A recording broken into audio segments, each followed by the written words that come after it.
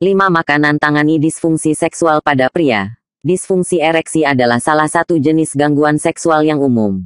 Banyak pria memilih obat-obatan hingga operasi untuk menangani gangguan tersebut. Disfungsi ereksi umumnya berkaitan dengan sirkulasi darah. Dilansir dari Foodworld News, Anda bisa mengonsumsi beberapa makanan berikut ini untuk mengatasi gangguan seksual tersebut. Semangka, buah ini memiliki kandungan yang efeknya mirip dengan obat yang biasa diminum para penderita disfungsi ereksi. Mengonsumsi buah semangka juga akan membantu meningkatkan libido atau gairah seksual seseorang. Buah mengandung antioksidan bernama likopene yang bermanfaat bagi jantung, prostat, dan kulit. Tiram. Tiram membantu menguatkan kadar hormon testosteron dan meningkatkan gairah bercinta. Tak hanya itu, tiram juga kaya akan zinc, mineral, esensial yang dibutuhkan tubuh.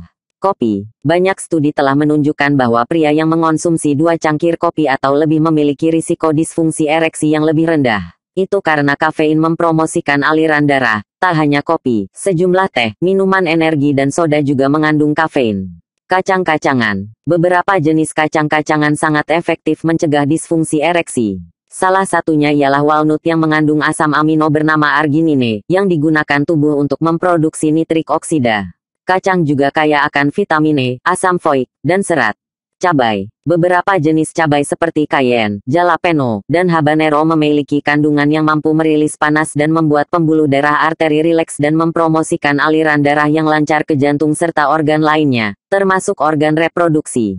Cabai juga mampu menurunkan tekanan darah dan kadar kolesterol, serta mencegah penyumbatan pembuluh darah.